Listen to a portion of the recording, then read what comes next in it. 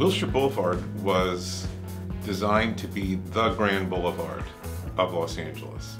If you had a congregation on Wilshire Boulevard, it meant you were a player. It meant you were important. It meant you were someone.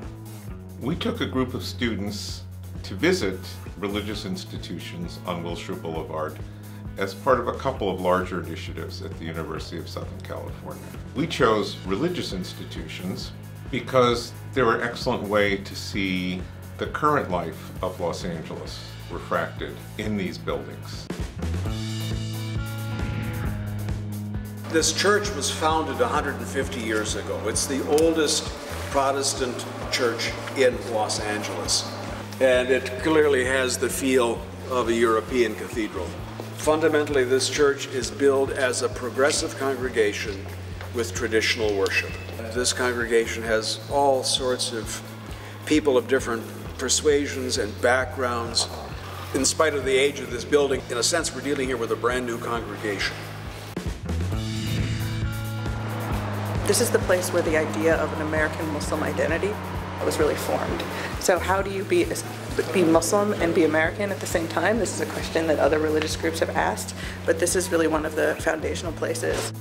It's a very active mosque. There's a food pantry that's part of the LA Regional Food Bank, and they're also part of the Wilshire Boulevard Clergy Council Corridor group, which is an interfaith group.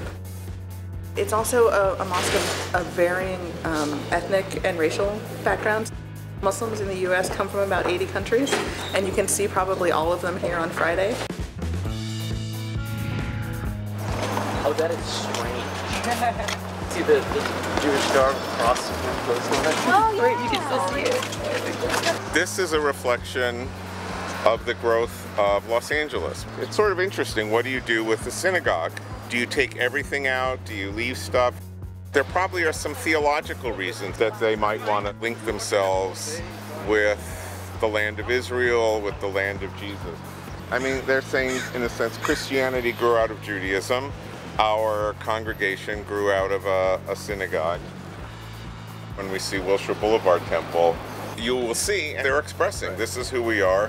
We're going to build the nicest thing that we can afford, and particularly if you're Jews, you want to convince your non-Jewish neighbors that you are also serious about religion.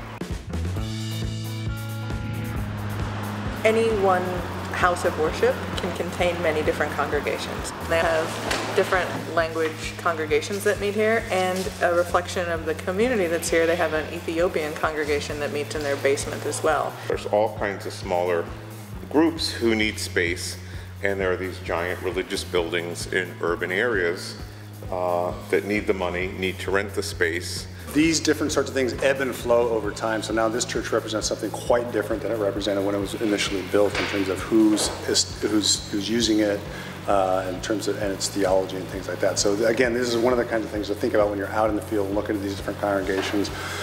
How have they changed over time? How, how, what are the kinds of things they're doing now, and how does that represent the people that are involved with them or their, their outreach?